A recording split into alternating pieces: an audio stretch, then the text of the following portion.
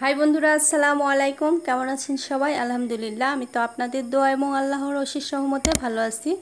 আজকে আপনাদের সামনে আরও একটা ব্লগ নিয়ে চলে আসলাম। আশা করছি আপনাদের ভালো লাগবে। আর ভিডিওটা শুরু থেকে শেষ পর্যন্ত দেখার অনুরোধ রইল। আজকে আমি গরুর মাংসের ভুনা করেছি, এটাই আপনাদের সঙ্গে শেয়ার করব, কীভাবে করলাম। আসলে আমরা সবাই তো জানি গরুর মাংসের ভুনা কীভাবে করতে হয়। এক একজনে এক এক রকম করে করে। আমি যেভাবে করলাম, সেটাই আপনাদের সঙ্গে শেয়ার করলাম। আমি আগে থেকে গরু মাংসটা এখানে ধুয়ে পরিষ্কার করে পানিটা ঝরিয়ে নিয়েছি। এখন আমি প্রেশার কুকারে দিয়ে দিচ্ছি। আর যারা আমার রেগুলার ভিডিও দেখে, তারা তো অবশ্যই জানে আমি কীভাবে রান্না করি। আর যারা নতুন দেখতেছে, তাদের জন্যই। তারপর আমি মাংসগুলো দিয়ে দিলাম। আর এখানে এক কেজি পরিমাণ মাংস আছে। আমি গুঁড়া মরিচটা দিই না, আমি শুকনা মরিচই দেই। শুকনা মরিচ দিলাম, তারপরে পেঁয়াজ দিলাম কেটে। মোটা মোটা করে কেটে দিয়েছি এখানে। তারপর দিব রসুন। রসুনগুলো আমি খোসা ছাড়িয়ে নিয়েছি। গোটা রসুনও দিব এখানে। তিনজনের জন্য তিনটা দিব। তারপরে দিয়ে দিলাম দারচিনি, কালো এলাচ, সাদা এলাচ তেজপাতা আদা থেতো করে দিয়েছি।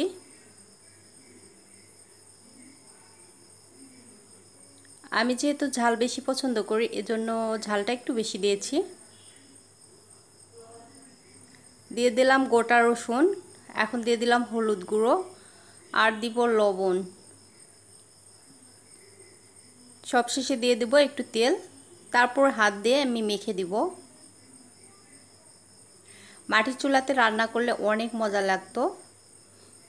আর ইদানিং আমি মাটির চুলাতে আর রান্না করতেছি না, কেন জানি?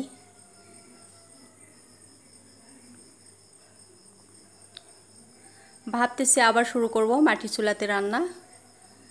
আর বৃষ্টি হচ্ছে, বৃষ্টি হওয়ার জন্য আরও জায়গাটা একেবারে সেতে অবস্থা, এজন্য আর কি করা হচ্ছে না।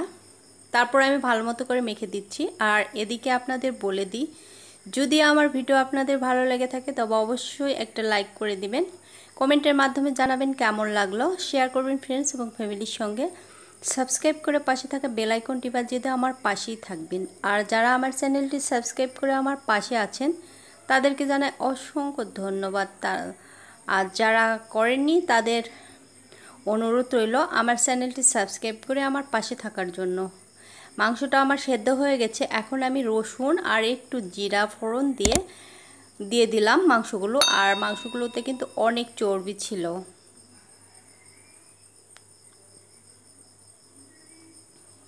আর এই মাংসটা কিন্তু কোরবানির না, কোরবানির আগে নেওয়া হয়েছিল। সেটাই আজকে ভাবলাম রান্না করি। কোরবানির পর কিন্তু এটাই আমার প্রথম গরুর মাংস রান্না করা।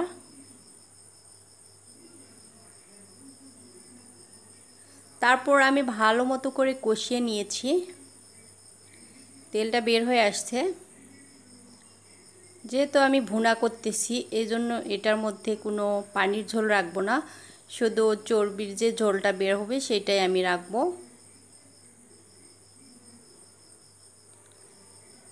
আমি বেশ কিছুক্ষণ ধরে কিন্তু কষিয়ে নিয়েছি। আর যে কোনো তরকারি বলেন, মাংস বলেন সব কিছু যদি কষানো হয়, অনেক বেশি কিন্তু মজাই লাগে। আর গরু মাংসটা তো আরও মজা লাগে।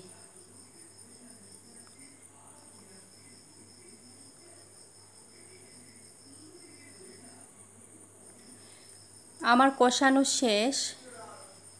তারপর এখানে আমি পরিমাণ মতো একটু পানি দিয়েছি।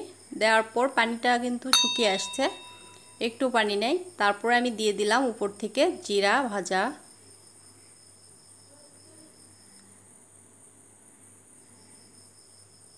এখন আমি চুলাটা বন্ধ করে দিব।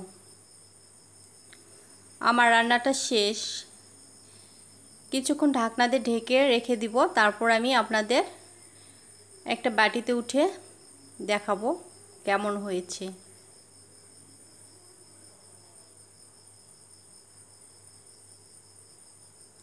আমি একটা বাটিতে উঠিয়ে নিয়েছি, দেখতেই পাচ্ছেন, অনেক মজার। আর গরু মাংসটা কিন্তু কম বেশি সবার কাছে অনেক প্রিয় একটা।